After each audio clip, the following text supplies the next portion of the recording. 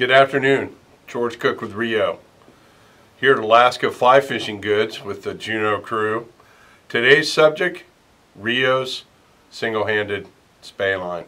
Now, despite the name, which connotates a single-handed rod in a spey use theater, this line has proven to be fabulous as a single-handed rod tool, but not totally carved into um, spey casting venue.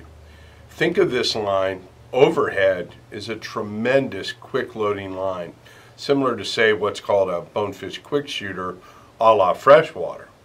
Up here in Alaska, it's got a myriad of uses, anything from small presentation fishing, dry flies, soft tackles, think alpine lakes, right down to river overhead casting with Dolly Llamas.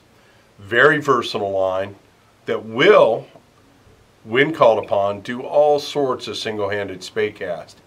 single spey, double spey, snap T, hybrids such as that.